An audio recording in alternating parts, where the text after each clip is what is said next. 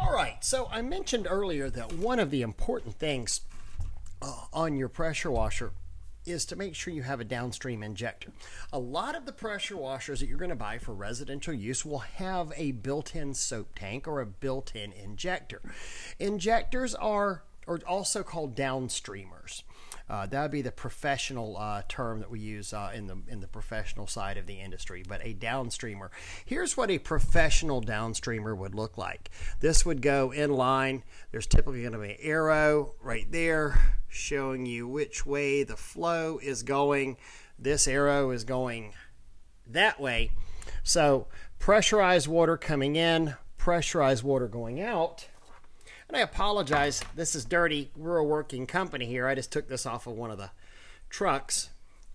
And this pickup tube will go into your house wash, your chemical of choice. Typically speaking, for best results, if you're dealing with a mildew or an algae, you're going to have some bleach in whatever soap you use on there.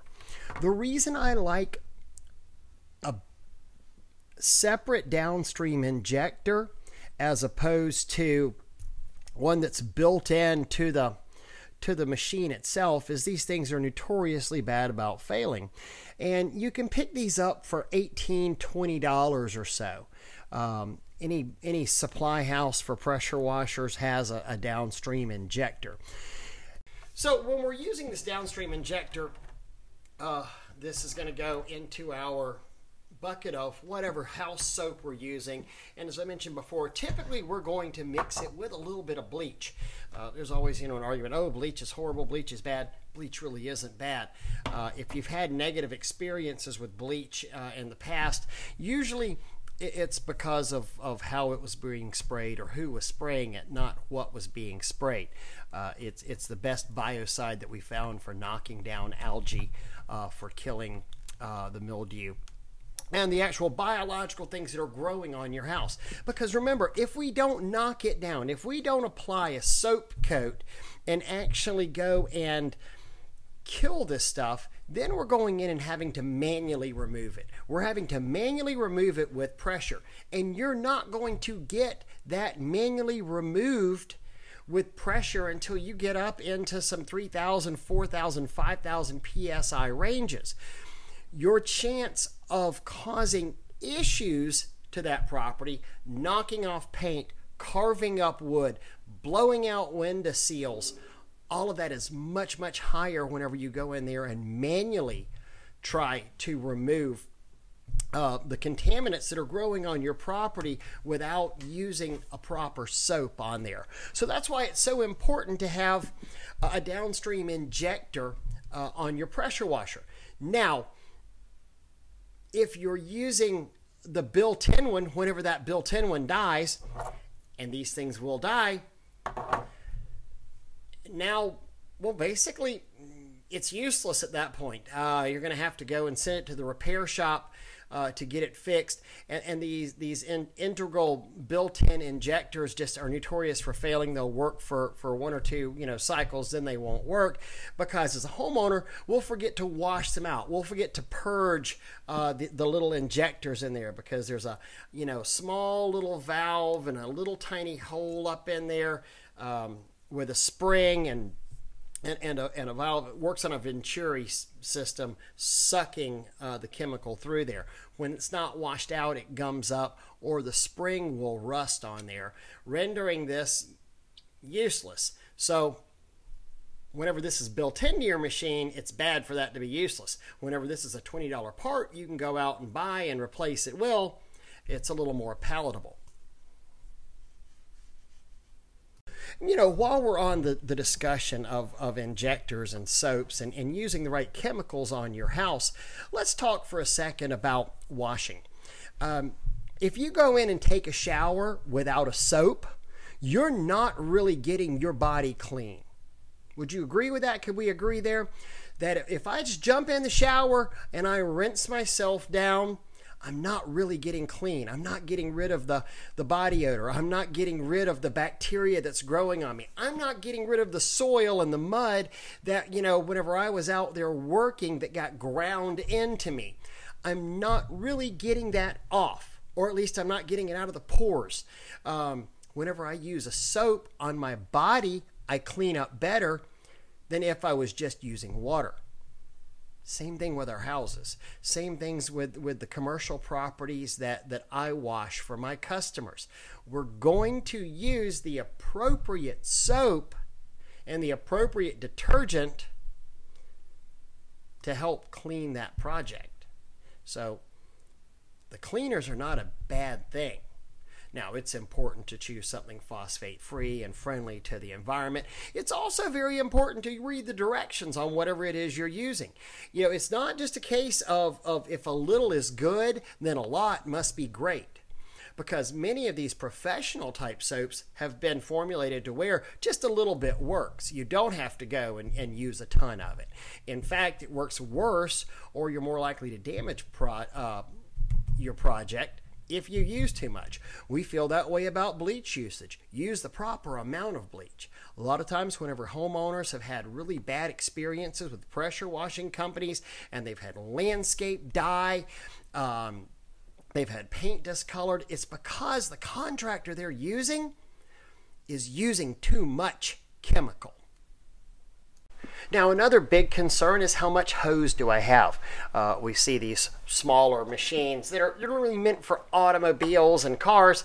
Um, you know, little small projects with 25 foot of hose. 25 foot of hose is just not very much hose. And what happens then is you are dragging around your pressure washer all day, a lot more than, than if you had 50 foot or 100 foot of hose. Uh, this pressure hose is very expensive. You're going to spend typically anywhere from 65 to 125 per additional 50 foot section that you buy. So uh, it is a little pricey to get extra hose. Now, one thing whenever you're taking care of your hose is never ever kink your pressure washing hose. Don't do that. These things will typically have steel wires in there, and if you kink it, you are seriously compromising uh, the wire wrapping on the inside, and it will wind up bursting there where you've kinked it. It might not burst immediately, but rest assured, somewhere down the road, it will burst there. Another really important thing that I see uh, that needs to happen with pressure washers is whenever you're getting it ready to use, whenever you're going and priming it up, uh, each and every time, you need to hold your trigger open and make sure that water is squirting through your gun or your lance or your trigger gun or your wand, whatever the terminology you like to use on that. That's going to make sure that the pump is flooded out and you've got plenty of water in the pump and in the hose because if you start it dry, it can cause severe damage to the pump and shorten the lifespan on that. So make sure your pump is full of water and water is flowing out of the pressure hose and out of the washing lance, the washing gun, before you ever fire the engine up. Also, make sure you use the proper fuel in your pressure washer. This new ethanol junk is really hell on on pressure washer engines, uh, on any of these small engines. Ethanol fuel is really tough on there. If you're going to leave this sat up for any amount of time, more than a week or so, I recommend running the gas out of your engine. If you have a Honda engine, that's very, very easy. You take the gray lever um, uh, I'm sorry, the, the black lever that's under the gray lever, and you turn the gas off, run the engine until it quits. That means there's no more gas in the carburetor to gum up and get nasty. Additionally, if you're going to keep fuel in the fuel tank, consider going in there with some type of uh, gas stabilizer, like a Sta-Bil is, is one brand name of it, and pour that in there because otherwise your gas is just going to get real varnishy, it's going to stink, and it's going to mess up your carburetor. Now, to recap, what we've talked about in, in this video series here, if I had the perfect residential type pressure washer, um, I would be going at something three and a half to four gallons a minute. I would also want something capable of at least 3000 psi.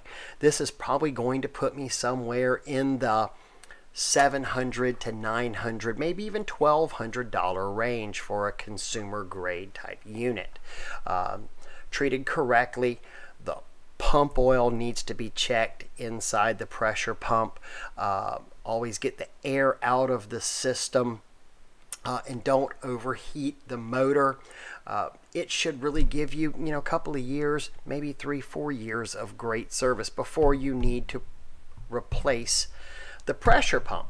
And keep in mind, you will probably have to replace the pressure pump at some time. If you get a decent Honda engine, uh, most likely the engine will stay safe. The engine will be fine. Hey, thanks so much for washing. If you have any questions, feel free to reach out to us by email. You can find it here on the end slides.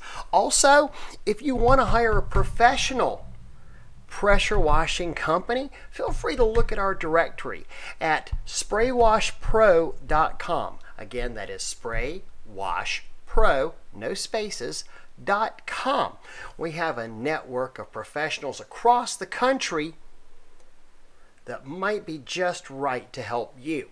But if you're also a homeowner, feel free to tackle this project yourself. We'd be happy to help you along with any little advice we can give there as our time and schedule permits. Also, we're going to be discussing a troubleshooting your pressure washer uh, coming up in our next video uh, talking about common things that are burning your pressure washer up and why it's not working.